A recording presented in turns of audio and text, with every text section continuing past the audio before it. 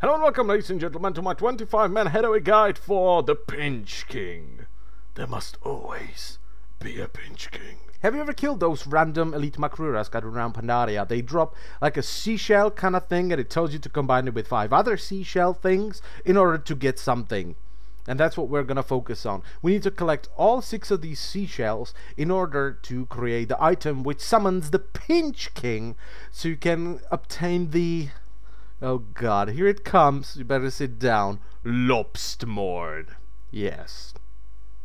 And the first time you kill one of those Makrura, here's the position on the map by the way, you will get a book called Troubles from Without and it gives you some short backstory about this and some clues as to where to find them. So the first one is called Akkalou and it says this female has been known to attack the fishermen of Sri-La village in times of hunger. Reports vary whether she is simply a nuisance or an outright menace. Last seen on the rocks southwest of Windward Isle in the Jade Forest.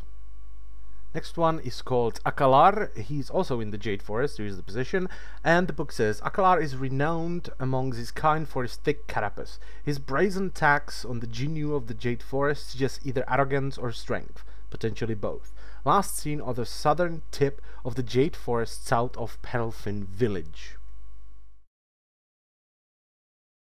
Third fellow on our list is called Damlak. Once again, here is the location, and the book says, Omnia scholars have suggested that the Makrura have some capacity in magic. Those who have seen Damlak know this to be true.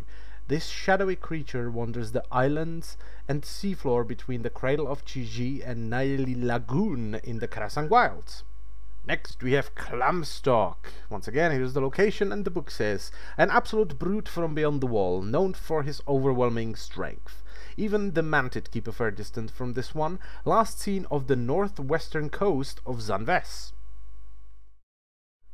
Second to last fellow is called Ordnirok, and the book says, Ordnirok does not fight with his claws as the other Makrura do, instead he possesses a crude shamanic power, fighting with the forces of water itself. He was last seen on the shore south of the cliffs of Silves in Townlong Steppes.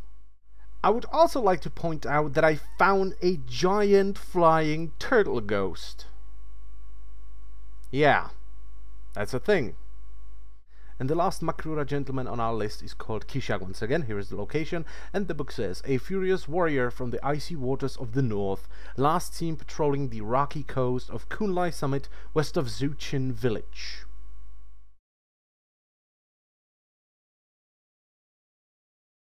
So once you have obtained all six of the Makrura shells, you will go right here, where you can combine the amulet or shell thing, and you can summon the Pinch King, called Crawl Lord Kril'mandar. And the book says, while we are discussing Makrura, I must mention Kril'mandar, known as the Claw Lord, or the Terror of the Southern Tide.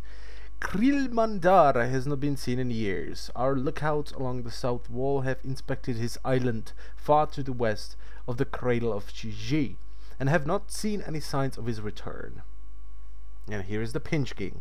I would also like to point out that if you fail to defeat the Pinch King, he will despawn and the item will be lost so you have to kill the Makrura again. So be careful or bring a buddy.